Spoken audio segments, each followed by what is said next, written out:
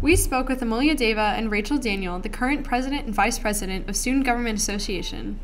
Both Amulya and I believe that is important for students to both run and to actually vote for the people who are running because you have a voice in every way, shape, and form, and that can only be expressed if you vote. Uh, you might not realize that SGA actually does make decisions that affect you, whether it be funding wise, the organizations that you are a part of, or even the initiatives that we put on on campus, or even special circumstances that arise here on campus that you might not know about now, but two years later you might actually care about, and we had an impact in those decisions. We have had a lot of initiatives go through pushing open educational resources, improving access to menstrual products on campus, and things like that. So we can make a good difference. And we also are involved with funding the entire student body through the Student Activity Fund.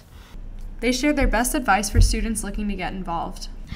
Be creative and be able to get out there and get to know what issues you want to fix and what you want to do for the student body, is my advice.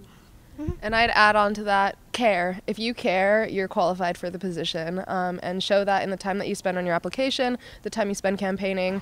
Uh, make sure you get to know your student body class because that's who you're really trying to represent. Students can vote online for their SGA president, vice president, and senator positions starting next Monday and continuing through Friday. The most competitive races will be for class of 2022 senator positions, so make sure to vote and have your voice heard. Visit Trinitonian.com for more information and candidate statements. Definitely vote.